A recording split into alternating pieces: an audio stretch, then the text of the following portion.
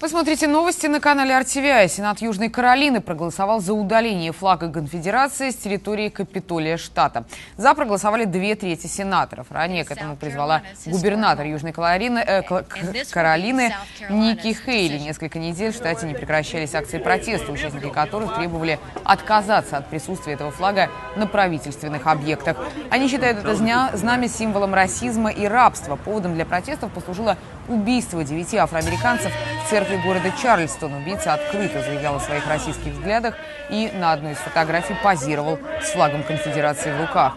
Защитники флага утверждают, что он не российский, а часть культурного наследия американского юга. Ну, по крайней мере, в Сенате Южной Каролины они оказались в меньшинстве. Следующей должна проголосовать Нижняя палата легислатуры штата.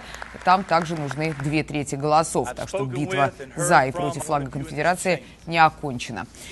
Как и другие острые социальные вопросы, связанные с дискриминацией, такие как гей-браки и Обама-Кер, проблема флага конфедерации может дойти до Верховного суда США.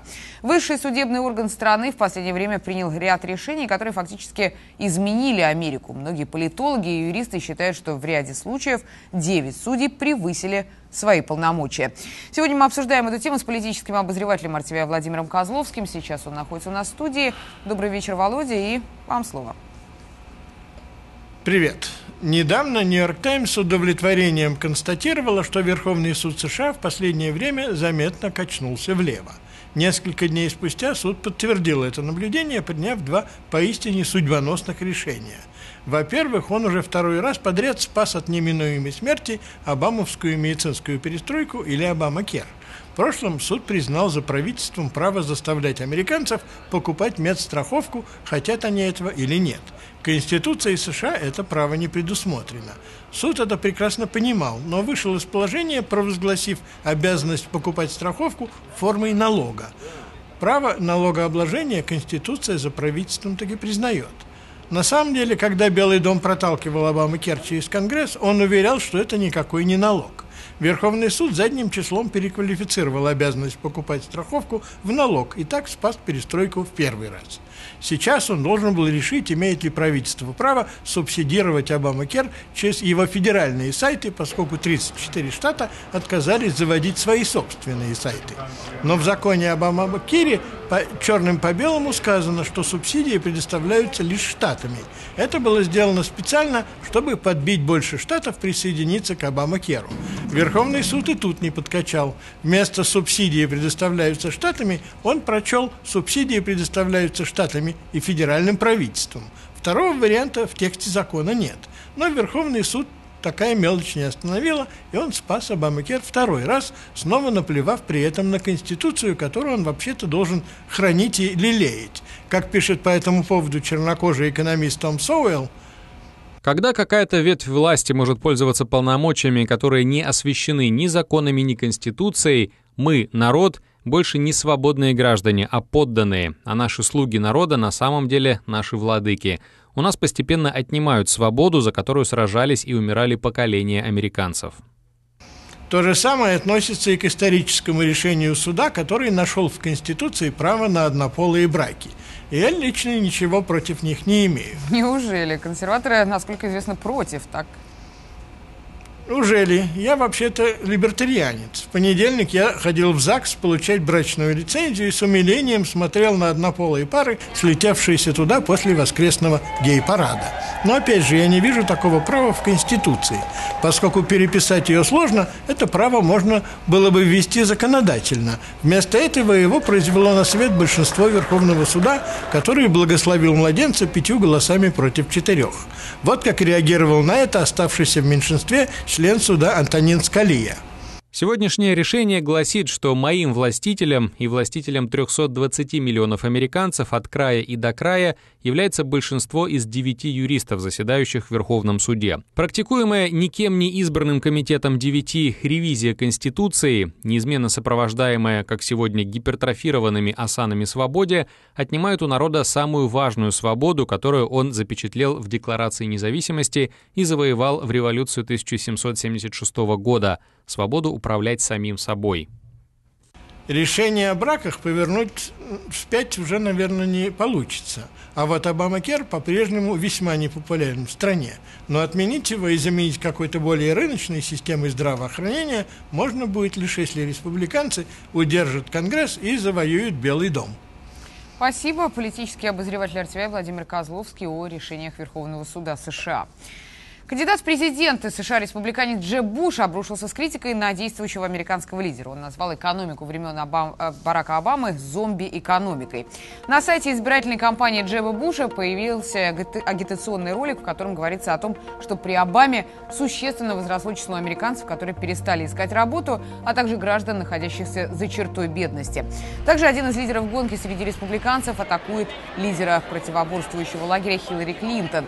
Ее экономический план звучит примерно так. Все, что бы ни делала Обама, мы удвоим. Стоит добавить, что уровень безработицы на прошлой неделе снизился до 5,3%, а когда Обама занял Белый дом, ее уровень составлял почти 10%. Еще один факт. За последние два года экономика США прибавила 5 миллионов 600 тысяч новых рабочих мест.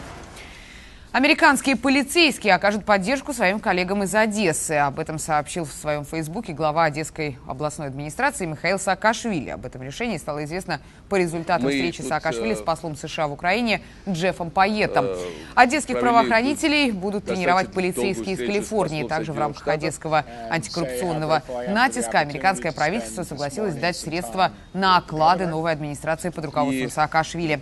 Напомню, что бывший грузинский президент был назначен главой Одесской Московской области в конце мая и получил украинское гражданство. Э, Приступив к выполнению обязанностей, он сразу же раскритиковал местных чиновников и уже уволил 20 подчиненных.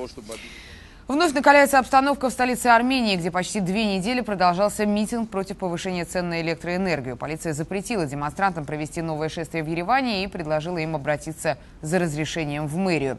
Ранее сегодня же силовики разобрали баррикады протестующих на проспекте Баграмяна. Часть участников демонстрации попыталась блокировать работу стражи порядка. В итоге около 40 человек были задержаны. Как заявили в Министерстве внутренних дел Армении, сила применялась только по отношению к тем, кто отказывался повиноваться полиции. Как заявили в интервью RTVI свидетели утреннего разгона, полиция вела себя более сдержанно, чем это было при разгоне демонстраций 23 июня. Полиция нарушила статус-кво, которое сложилось э, последние две недели. И, э, на мой взгляд, они действовали без соответствия тем стандартам, которые были указаны в заявлении защитника прав человека. Хотя полицейские старались э, осуществить разгон акции э, по возможности без э, применения специальных средств. Необходимо оценить существующую общественную, существующее общественное мнение по данному вопросу. Необходимо оценить мнение всех групп, которые участвовали в этом гражданском неповиновении их позиции и определить программу действий для будущего периода, исходя из оценки ситуации.